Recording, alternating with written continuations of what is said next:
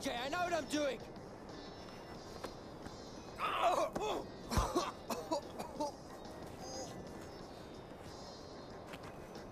Jeez. Did it work? Just gave you CPR, what do you think?